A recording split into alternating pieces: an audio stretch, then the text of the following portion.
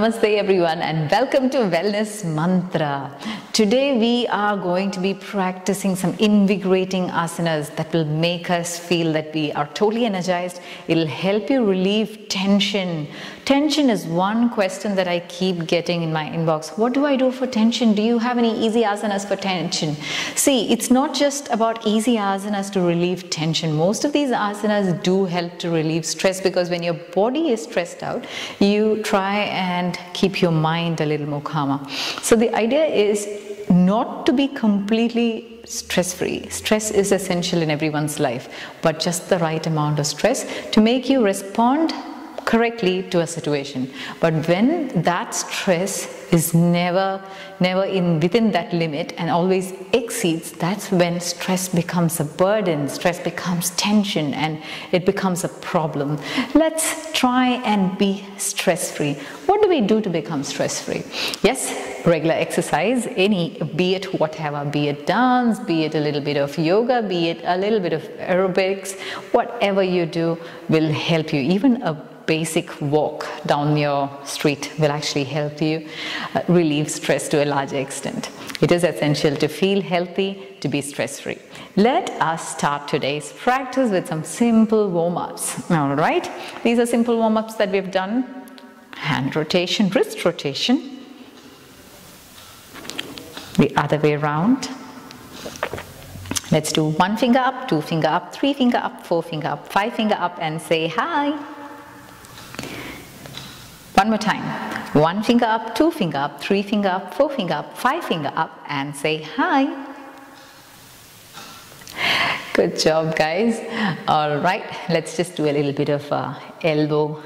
One, two, three, and four. Elbow bending. One, two, three, and four. And then one, two for your shoulders, three and four. The other way, one, two, three and four. Good job. Let's just do some free swinging. Slightly keep your legs apart and we're going to swing from one side to the other. Try not to lift your heels off the ground and turn. Keep your leg flat on the ground and then swing your hands out. One, breathe out and out two, three, four, five, six, seven, eight, nine, and ten. So most of you are working from home these days and those who are not working from home are usually healthcare professionals and you have your own woes. Uh, so for both of you who are working from home, who's got to sit at a desk, sit at the system and keep working, working, working, tightening up your shoulders, putting a lot of strain on your neck, your upper back. And for those healthcare workers who are using a lot of their upper hands, using their hands to lift heavy objects, move it from one side to the other, this is particularly for you. And for that person who happened to ask me what can I do for tension? This is for you too All right. So we're trying to relieve the tension from our upper back. Now to do this, we're going to clasp our hands behind us like this as I do. Clasp or interlock your hands behind you and give it a nice tug downwards.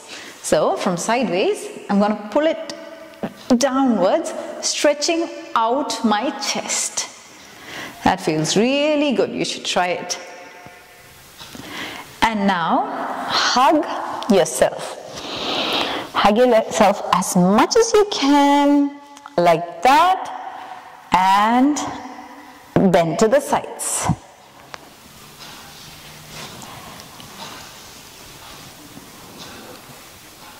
Now the other way, interlocking one hand over the other.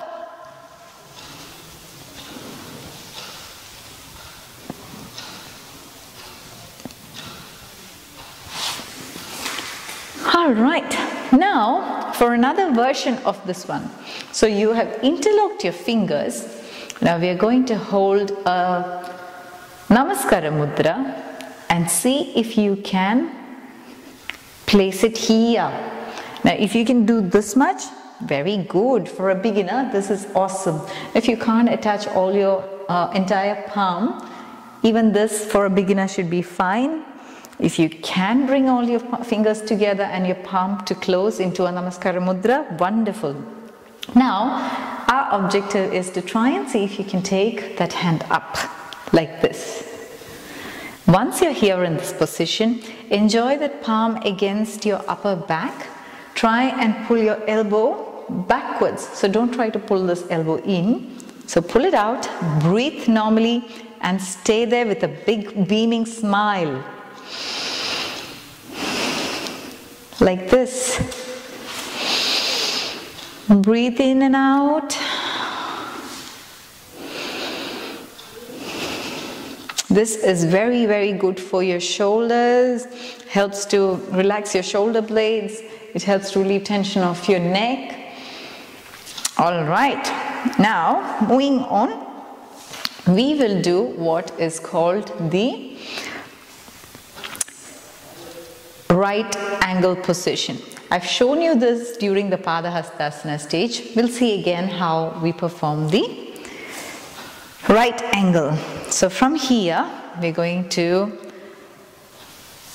go down using your hands to support your knee and stay there.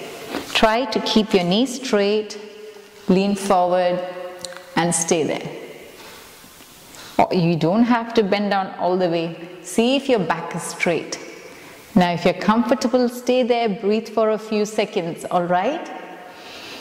Keep breathing, keep breathing.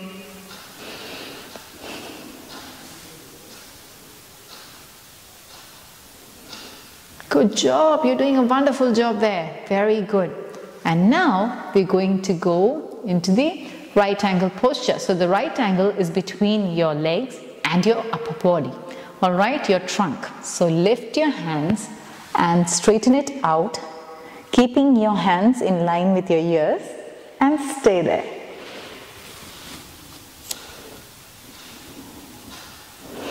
Breathe normally. Feel your hamstring stretch enjoy and stay now slowly bring your hand down and come up.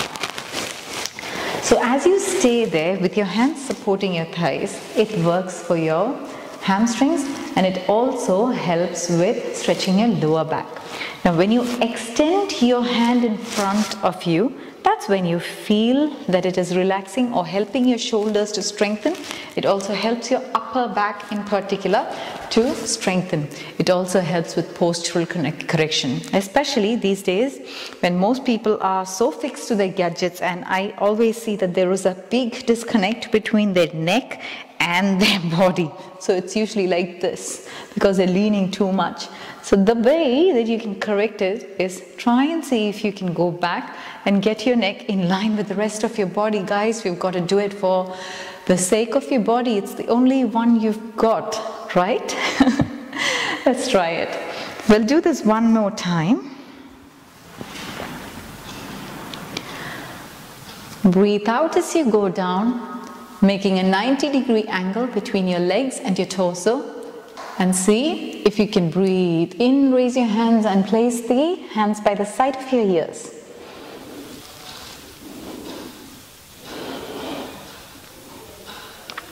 Stay. And breathe out. And slowly come up. For all those of you uh, who felt that the Pada Hastasana was just too much, this is a great way to start. And it also helps to extend your hamstrings, which means that if you have a, a beginning of a sciatica uh, problem, if you have a nerve pinch, this could help you with your lower back issues and sciatica. Uh, good luck practicing this one. Now, we have created a one single right angle. Now we're going to do two right angles within the same body. How do we do two right angles? Now to do the two right angles or Dvikonasana, we're going to place our legs almost by around 30 centimeters apart.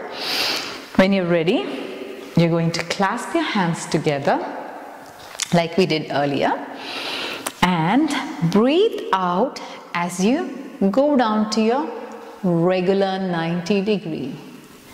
Once you're here, we're going to try and raise our hands up to another 90 degree formed between your hand and your torso. So stay there, enjoying the 90 degree between your hands and your torso. Breathe normally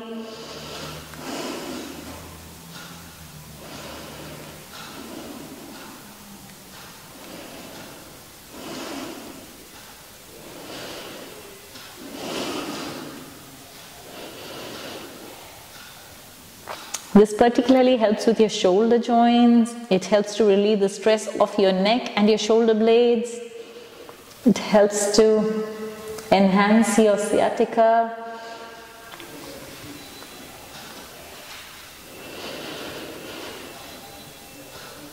And breathe out. Drop your hands down, breathe in and come up.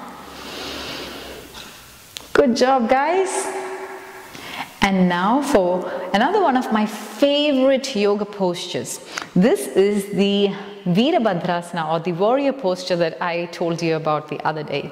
Uh, why do I like this posture so much? Virabhadra or the warrior uh, posture increases confidence. It makes you feel like, yes, you can conquer anything. And it is very essential for someone to feel positive and highly energized every day. And Virabhadrasana just makes me feel that. The one particular interesting thing about Virabhadrasana is this is something that I used to practice during my stint with my Kalari or Kalaripayattu, the traditional art, uh, martial art form of Kerala. So that's when I realized that that stance of Virabhadrasana, I'll show you what the stance looks like so you'll understand what I'm talking about. Making a triangle with your legs.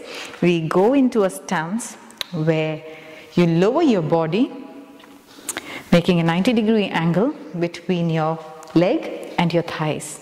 And you look straight ahead. And when you do this, you have this feeling nothing can stop you.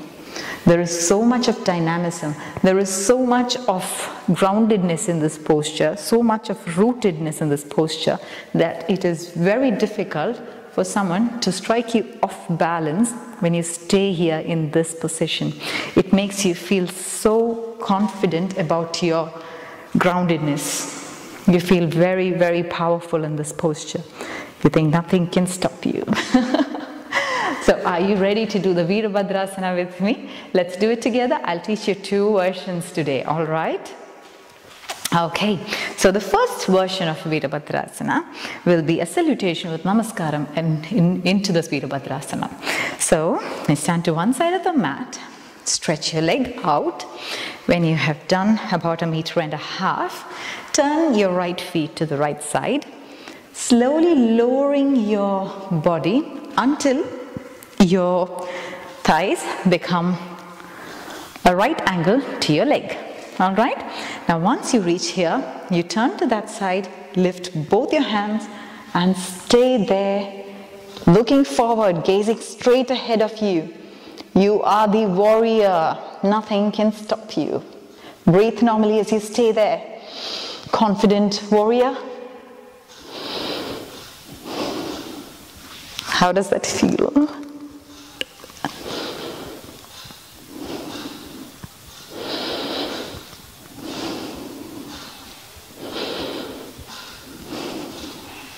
Breathe out and come up, close your legs and jump back to position.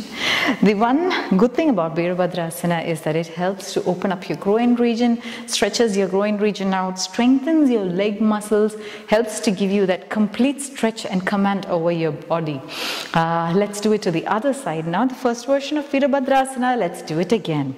Breathe in and out, pointing your left feet towards the left side. Now you're going to sink in to make a 90 degree angle between your leg and your thighs. When you're ready, my warriors, lift your hands up into a namaskaram. Look straight ahead, believe in yourself, understand nothing can stop you. You have it all within you. Have that very confident smile. Feel how balanced your body feels as you stay there. Enjoy the confidence that you gain as you smile, beam, and stand there in Virabhadra posture, the warrior posture. Breathe out, bring your hands down. Breathe in, come up. Breathe out, toes to the side. Breathe in, and jump back to position. Wasn't that super fun? I totally love this Virabhadrasana. Now for the second version of Virabhadrasana, which is even more exciting. All right, now we stand to one side of the mat. Make one big step to the side. Right feet pointed to the right side. And when you're ready, my warriors, let's go in, sink into the asana, taking your hands up looking through the tip of your fingers straight ahead at your enemy. And your enemy is nobody but your lazy self.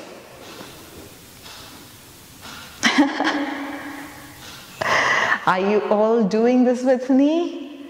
Feel your legs stretch. I want you to feel your muscles work. I want you to feel the strength you gain as your chest expands and you stay there, breathing, looking, gazing straight ahead ready to take up any challenge that comes your way. You are the warrior, nothing can stop you. Wonderful. Good job practicing. Breathe in and come up. Breathe out and drop your hands as you point your toes back. Flex your knee and jump back. Wonderful practice. Let's do it to the other side now. The Virabhadrasana to the left side, version 2. Once you move to the left side, make sure it's about a meter and a half away. Pointing your toes towards the left. We're going to sink in as we lift our hand, gaze straight ahead, ready to conquer anything that comes your way. Let's do it. Breathe in and sink. Stay there. Feel the groundedness that this posture is giving you. Feel the confidence that you gain as you stay there. Enjoy your breathing. Feel the strength that comes from the core of your body. Nothing stopping you now.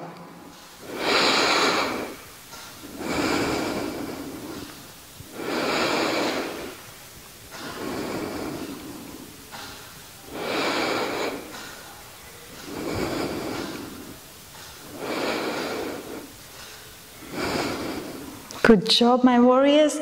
Bring your hand down. Breathe in and turn your toes. Breathe out, bend, and jump back to your position. So that was Virabhadrasana for you. I totally love doing both the Virabhadrasana. What I would strongly recommend is try and do the Virabhadrasana. Every time you feel your energy is coming low, energy is down, and you feel a bout of self doubt, go in front of the mirror, practice this looking straight ahead. Believe in yourself. I want you to stare at yourself in the mirror, holding on to the warrior pose and believing and making sure that it's not just a belief, it is complete confidence in what you are. It is knowing your true nature. Your spirit is free and you have it in you. Please remember that all times and nothing can beat you. You have it in you. So please practice the Virabhadrasana with all your might. I want to see you in a completely energized form as you practice the Virabhadrasana and keep letting me know how you feel about the entire practice because it gives me a great thrill to know that you are all enjoying the practice sessions. All right, until we see another time, this is Shama saying goodbye for today. Bye bye.